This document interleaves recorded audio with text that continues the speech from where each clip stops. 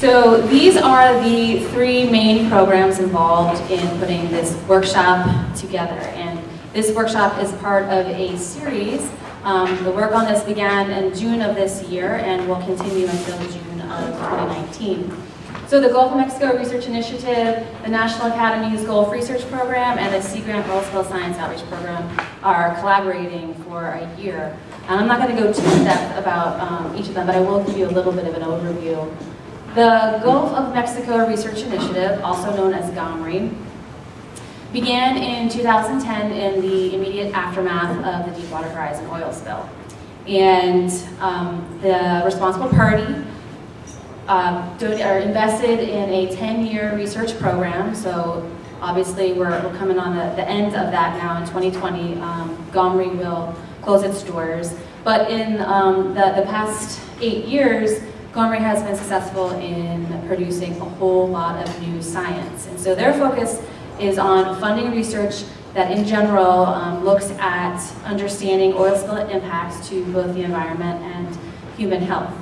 And we've got some other, five focus areas listed up there. And so if you want, you can visit their website and learn more about their, their work, the researchers themselves, the research groups. There's hundreds of different um, scientists and their students working together in different research consortia. All of it's on their website, and um, it is the reason the Sea Grant Oil Spill Science Outreach Program exists today. Because in 2014, with all of this new knowledge and science, about oil spills impacts, um, it was realized that we need to get that information out to our audiences that can use it. And the folks in this room are considered those audiences.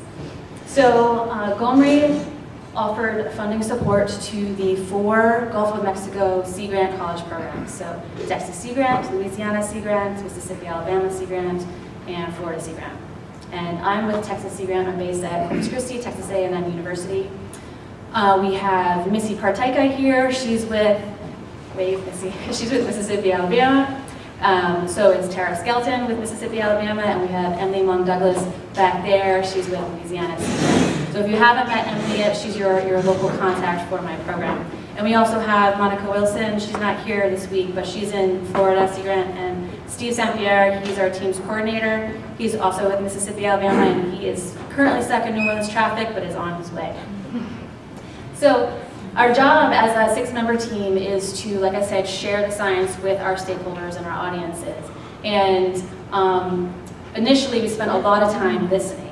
So visiting with our audiences, getting a, a, feeling for what they're looking for, what questions they have about oil spills, about impacts to them. Um, and then, you know, after gathering that input, we turn to our peer-reviewed science. And so those journal articles that sit and live in the periodical section of your library, remember that? periodicals.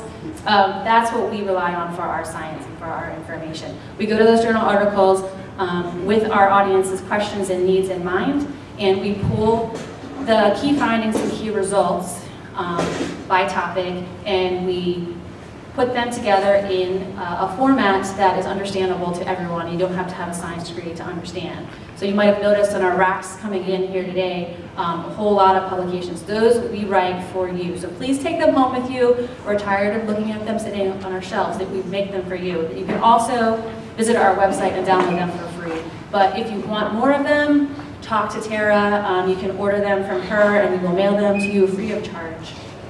So that's one way we get our science out. Another way is doing um, events just like this. We host seminars and workshops, or we invite experts on a variety of topics into the room to share their science and information with our audiences. Um, and those are really valuable experiences because it's not only a one-way exchange of information, it's not just the scientists telling you the remarkable work that they're doing, but it's an opportunity for us to engage in discussion, ask more questions.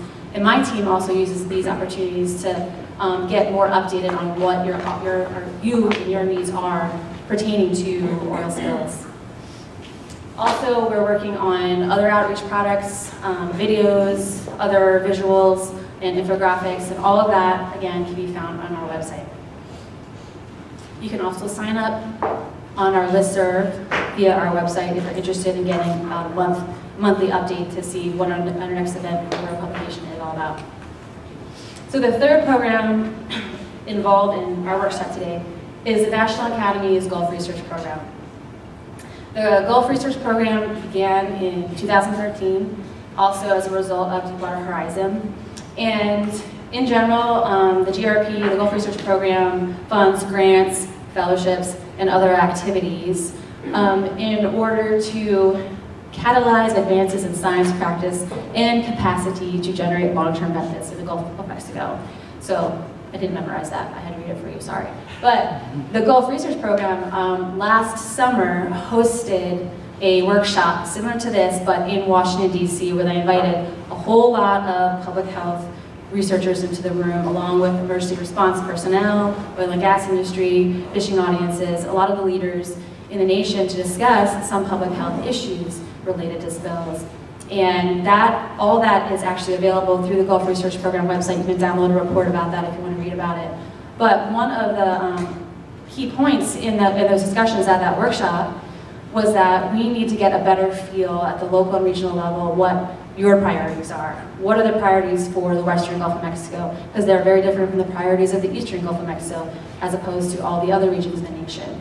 So Sea Grant was mentioned as a wonderful partner in working with communities. We do have a 50 plus record of doing that.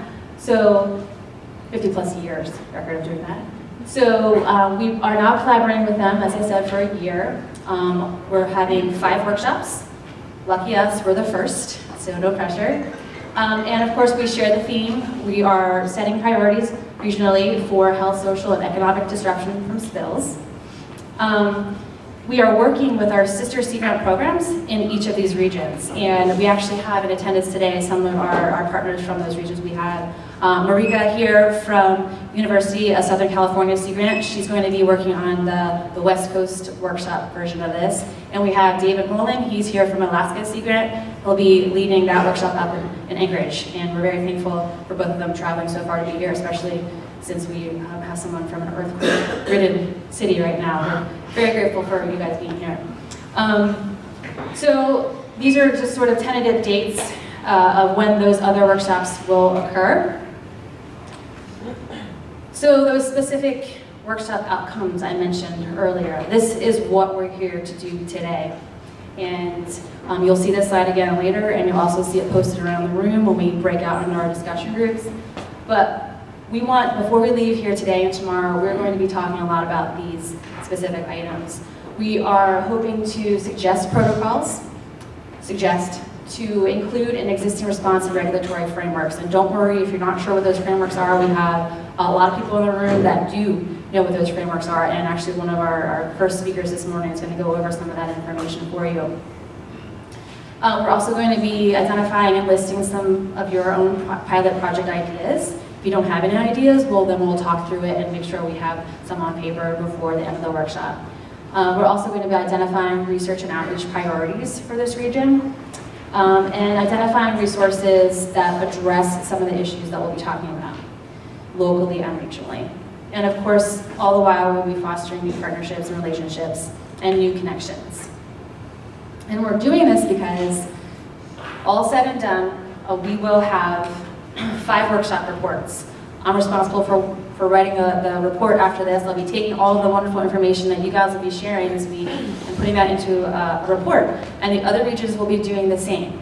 So we'll take all that information, put it all into one final fund report, um, and hand it over to National Academy's Gulf Research Program so that they understand what the national, regional, and local priorities are in order for them to fund meaningful projects down the road. They want to see their money going towards meaningful projects that could have impact locally and regionally. And it's not just the Gulf Research Program that will have access to that information. It will be made publicly available. All of those workshop reports and the final report will be made available to you. You're free to share that with your contacts, your friends, your family. Um, we want to make sure it's getting out there so that um, everyone's aware of the opportunities should they occur down the road. And we will be measuring this over time. Hopefully you picked up the evaluation form on your way in off the table. If you didn't, don't worry, I will track you down and make sure you fill out an evaluation form. That is just step one in our evaluation process. That will let us know how we did today and tomorrow with this workshop. But we will be following up with you if, if we have your email addresses, and I have most of them, we'll be following up with you later on um, in the year to see if perhaps you have formed any new partnerships as a result of this effort, or if there's new funded projects, or if there's new plans in place because of the discussions we have here today and tomorrow. We want to make sure that what we're doing has an effect and an impact for you all.